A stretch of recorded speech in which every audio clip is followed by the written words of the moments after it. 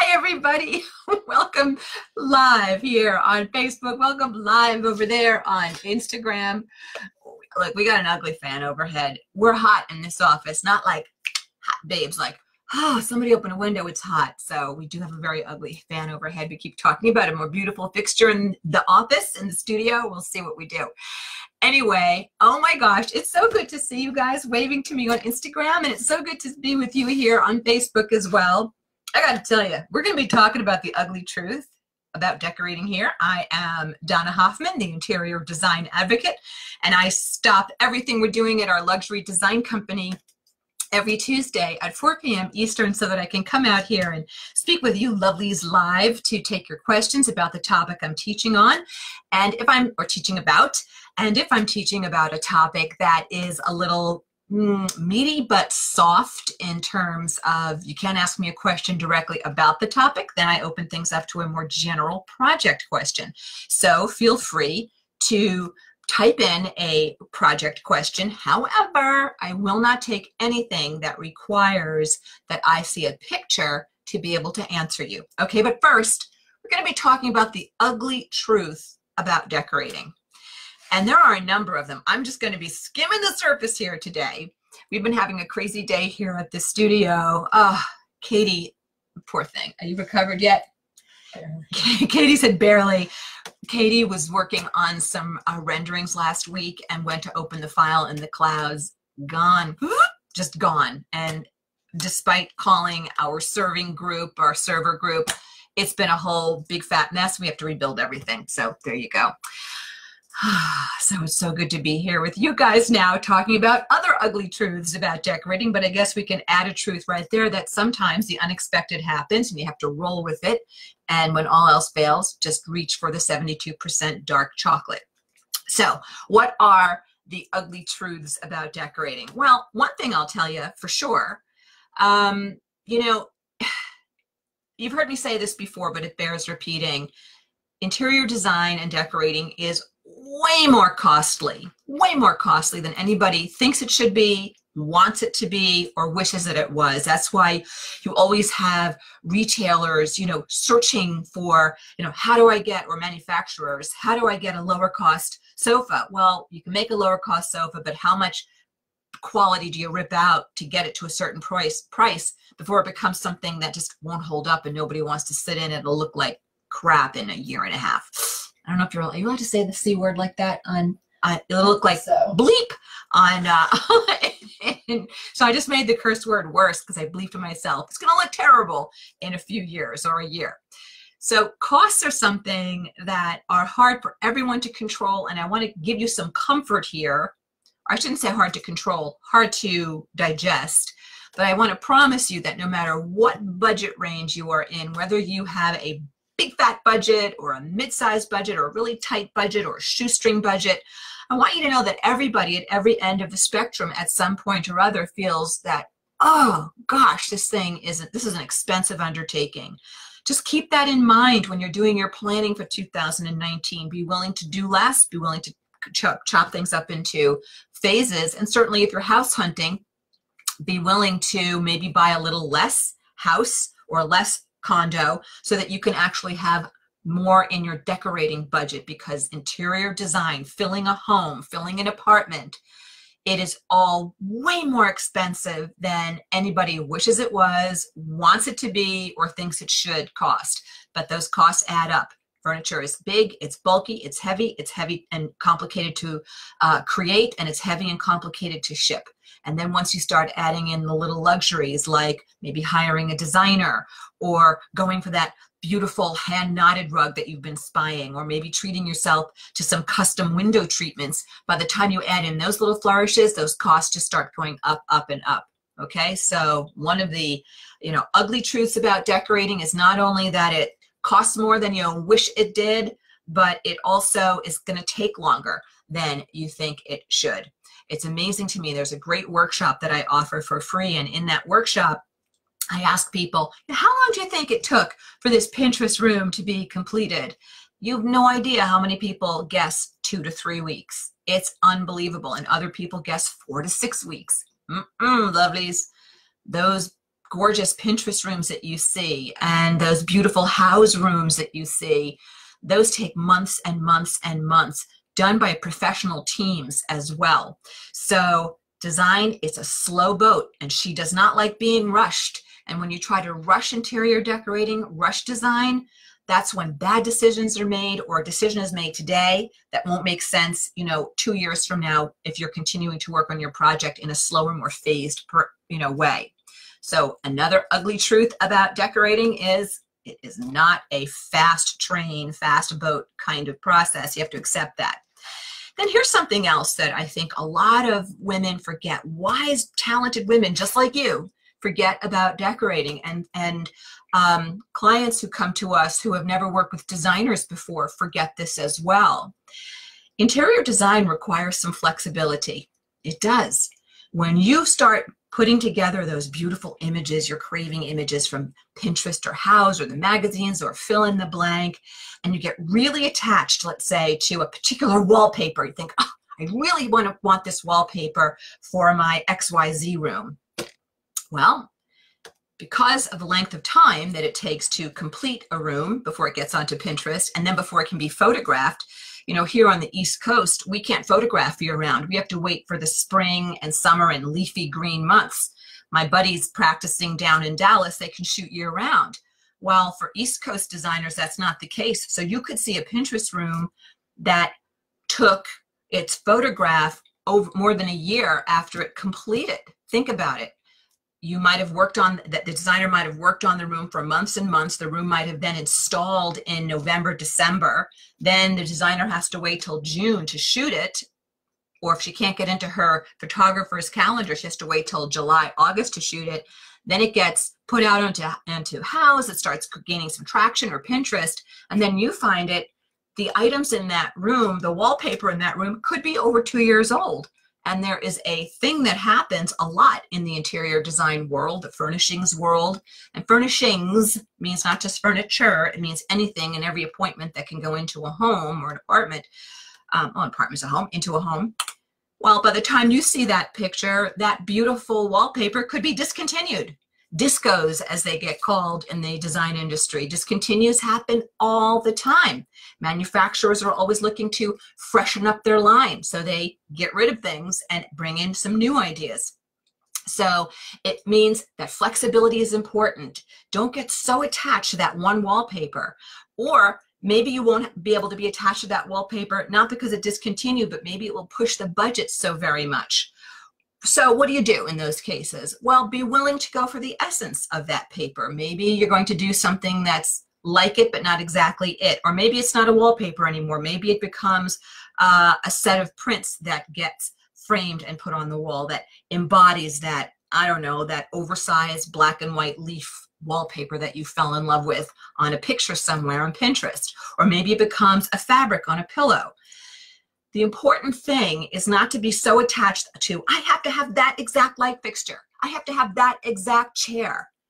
What's important is you look at your inspiration images and you ask yourself, am I at least with my substitutions, am I capturing the essence of this space? Am I capturing the essence of these craving photos that I've been, you know, aiming toward? And I promise you, it's not just you know, design lovers and women like you that have to do that. Designers have to do that too for the same reasons I just mentioned. Things discontinue, and also sometimes from a price point perspective, just pushes a client budget too much. So we have to find an alternative.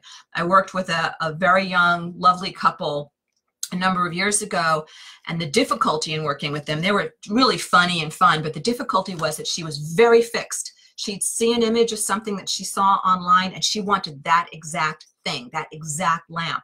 So you were constantly doing these needle in a haystack searches and um, and everything was always coming up short for her because it wasn't the exact, the exact. Instead, go for the essence. And I promise you, you will get the results that you're after. You will you will hit the gorgeous finish line in the rooms that you are creating based upon those images that you're gathering but flexibility absolutely is necessary. And the ugly truth in decorating and design is that inflexibility in design and decorating is a kiss of death, and it will shut down many a project.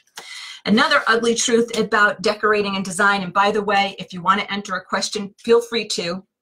I will be getting to questions shortly. As long as I don't need to see a picture to be able to answer you, I'm happy to take your question. And as long as your question isn't so basic and general that there is no answer to it, happy to take your question, but I'll explain that in a sec. So what's another ugly truth about decorating that people just don't necessarily recognize when they get excited in their new home or their new design project? Well, it's this. Trend paralysis can really start to overtake women, smart women, creative women, just like you. You become so afraid that what you're looking at is going to be off trend, out of style, as you guys like to ask me. Will this still be in style in five years? Will this still be in style in 10 years? I teach a whole course about trends and how they develop and how they morph over time. And I will tell you, trends are confounding, and industry professionals are going to shows all the time, looking at trends, watching how different trend seeds are taking root and shaping, how certain seeds are quieting down, what the new seeds are that might catch. But what you need to know is that the design greats, the Albert Hadleys of the world and the Bunny Williamses of the world and the gosh, fill in the blank, the really fine designers that are trendsetters, that the Juan Montoyas of the world. These designers do not and did not redecorate their residences every three years, every four years. They put classic bones as much as possible into the fixed finishes. And then around that, they start designing what they love. They're always designing what they love and they're looking to do a very fresh take on whatever they're working with. But it's got to be colors that you love, not just colors that are trending. It's got to be shapes that you love. But there's a wonderful blogger who I really enjoy. I enjoy reading her. I enjoy following her. But she's very fixated on, hey, this is going to be out of style. Your home's going to be out of style. Hey, don't do this. Hey, you've got to do a white kitchen. I know white kitchens are having a very long trend moment, but eventually something else is going to happen in kitchens and i don't know exactly what it's going to be and i see designers are kind of pushing the envelope searching for it but just as at one point people were convinced that other styles would never go away so when this wonderfully talented blogger says only white kitchens are classic well there was a time when people said only swags and jabots on window treatments are classic do swags and jabots that's the most classic window treatment there is well, they they actually fell out of favor. Is it a classical look? Was it a classic look? Yeah. And when people were banking on that, you know, Tuscan and country French look, that was classic, right? It had its roots in France and Italy. Well, eventually, even that gave way to something else. So, what did wise designers do? What did wise professional designers do in their own residences? We designed classically in terms of millwork, so that we know we've got good bones in a, in, in a residence. And then from there, the updates happen, but it's not about renovating and ripping it all out every 10 years. Eventually, yeah, there could be renovations. I'm not saying there aren't, but more often than not, pieces start to swap out. Sofa shapes, a new sofa shape gets swapped in. Fabrics start to change on a window covering. Maybe the shape of a window covering starts to change. The bedding might change. Um, and so it works back to choices that were made six years or eight years prior, but we're updating with bedding. I just updated my own bedroom with bedding and new window coverings. Huge difference with furnishings that are clean, simple, and still work, but not necessarily of the moment in the trend that I might specify for a client right now. And frankly, long discontinued, couldn't even begin to find that exact look again. So my point is for you is get out of trend paralysis. Be aware of the trends, but design beyond them. Design with the long vision. What colors do I love being surrounded by? What shapes do I love being surrounded by? What types of embellishments do I love being surrounded by? Because the ugly truth in design is that trend paralysis will stop you in their tracks. And furniture manufacturers and bloggers and Instagrammers are showing you what they want you to buy now, what they want you to buy today. Well, you're a wise design consumer. I know you are, just as you don't throw out your wardrobe every season, you add pieces in. That's what you'll be doing in your homes as well. So try to get over that paralysis of over-analysis of those trends, okay? The last thing I'll tell you before I hop into questions, if you have a question, feel free to send it in. If you're on Instagram, Katie can get it to me and send it in to me here on Facebook. I'm happy to, you know, I can read it myself.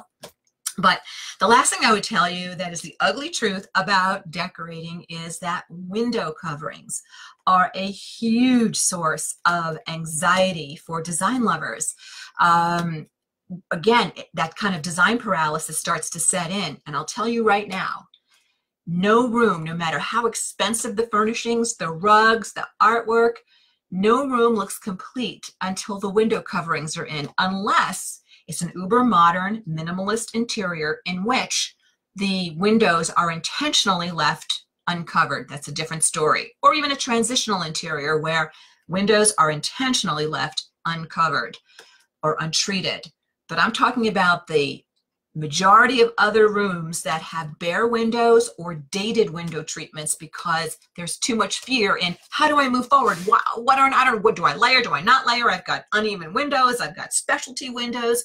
Window coverings uh, of themselves are their own rabbit trail. So you are totally normal if you are part of that large segment of the population, ugly truth about decorating, finding that window coverings are just confounding. But because they're so important and powerful in a room, because I see such confusion around them, I want to let you know that on February 23rd, which is a Saturday, so I'm making it easy for people to attend, we are doing a deep dive live mini course immersion on this very topic. And there are some amazing supports before and after the live event that are going to be built in as well.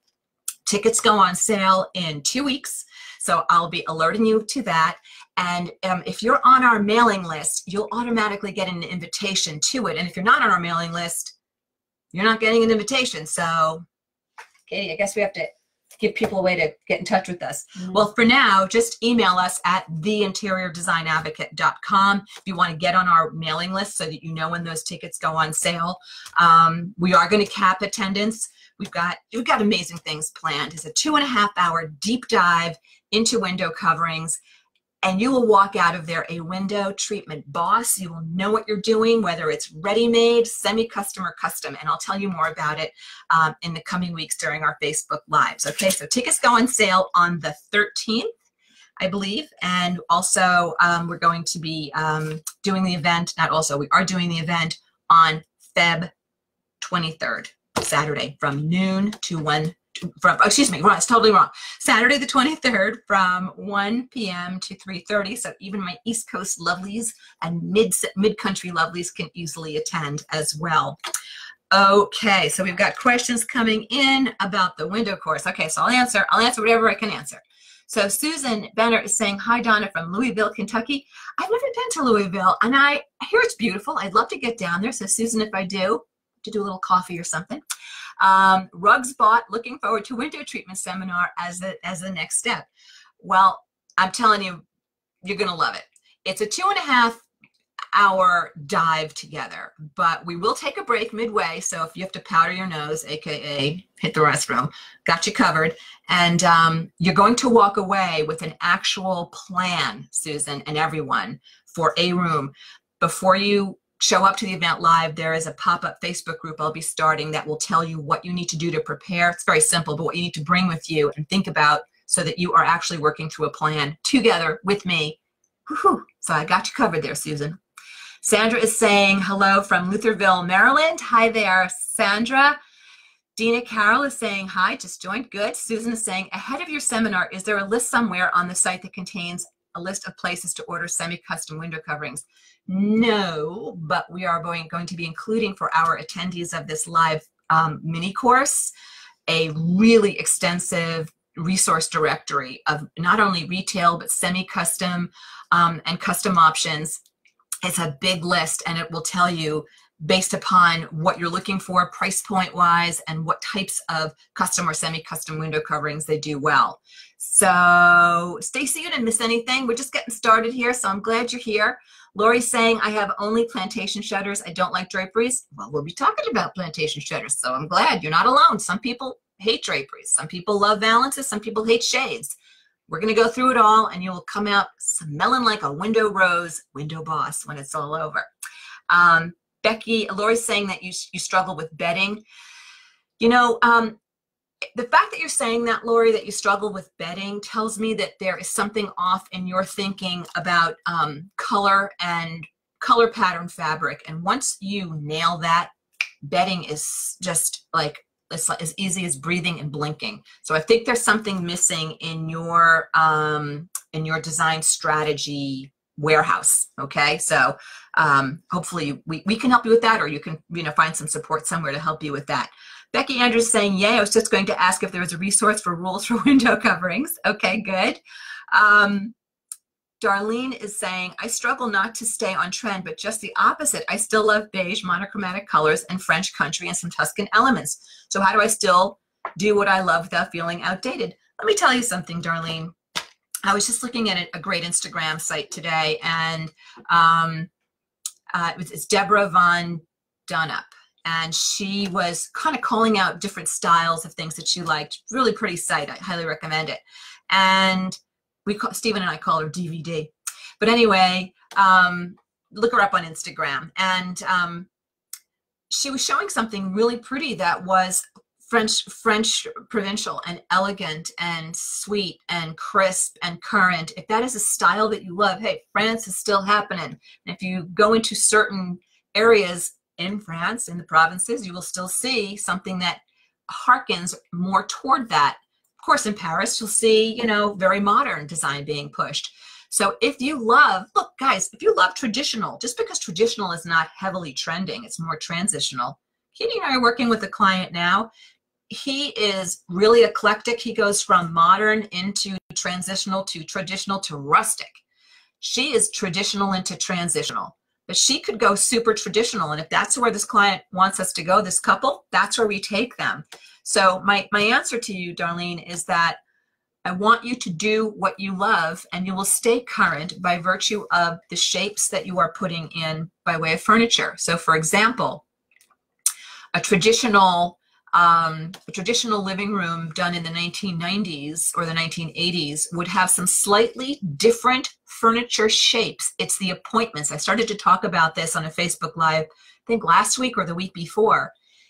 It's the appointments that are delivering that color, that fabric, that start to morph through all the trend cycles. So you can still find a lot of traditional out there. And listen, you know, a gorgeous Persian rug, you could throw super modern kidney sofa on there or really modern leather sofa on there and have a great look or you could throw traditional furnishings on it technically yeah persian rug is a, is a traditional element so darlene it's the, the, the sum total of everything that you're putting together that will give you that final look.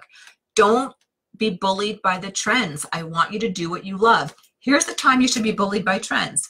If you are preparing a residence for sale, then I would say get a little trendy so that every buyer that walks into your home can see themselves living in it and they don't have to try to, you know, connect some dots for themselves. But if you're planning to stay in your residence for a long time, design what you love, do it tastefully, do great strategy, but you can do a gajillion different styles, I'm telling you, and it can have staying power depending upon how you render it. Hope that, hope that makes sense to you, Darlene. If you have a follow-up question, send it in. Becky is saying, I have four tall windows side by side in my living room. I just have two sheer curtains on the outside too, on two short bras. Is there a rule? We'll be talking about this in that mini course. I really need pictures to be able to teach this well, um, Becky. So what Becky's talking about, I'm going to do my best to give you a quick answer now, Becky. What Becky's talking about, everybody, is when you don't take a rod across the window, but when you do these partial rods. I've done those, Becky, when I have to, either for budget or because of how many panels a project budget can, can handle or if there's no room for the stack, meaning where the other panel would sit on both sides of a window. So you do what you're calling an asymmetrical hang, right? You've got just these, um, wait, actually, are you asymmetrical? I know you've got, I just have two sheer, yeah, outside two windows. So out, so here's your window. Instead of panel, panel, it's panel, panel, right? Two outside. So that's called an asymmetrical hang. You can do that. Um, when the rod does not go across the entire window, and again, I have done it, and of course I see it done, just be careful, Becky, because it can really chop up a room, it can chop up a space. Um, so I would ask you the next time you design something like that, do you want to take the rod all the way across the window, but don't let the rod on the unpaneled side project beyond that casement more than maybe an inch or two before you get to that finial, right? The finial is the end point. And then you just let your panel hang on the other side where the rod did extend further beyond the window. So that's another alternative that doesn't break the space in the same way that those little partial um, rods do. I, I, have very mixed feelings about those partial rods. And again, I've done them um, in rooms when, when so required. So I hope I answered you there. And that's easy. Again, it's easier to teach when I've got the something like that, when I've got visuals in front of me. But great question. Becky's also asking, sorry, my phone spazzed out. Is there a, a rule for how long to make the curtain rods? Well, generally speaking, oh, okay, so you're not doing those little chopped up rods. Whole, I got a whole other lesson out of there. Uh, the rule is, you know, the safe rule, uh, two to four inch, you know, four inches beyond the window on either side. kind of Dullsville as far as I'm concerned. So I try to push that proportion and I'll go six, seven, sometimes eight inches beyond. It depends upon how big the window is itself.